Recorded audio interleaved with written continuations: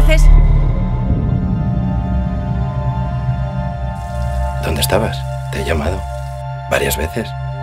¿Qué te ha pasado en la nariz? Había algo en el suelo y he resbalado. Tengo miedo.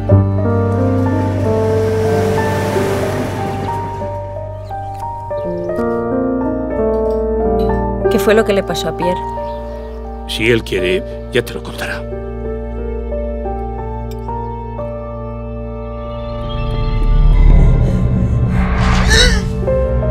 Cualquier persona en tu lugar estaría feliz.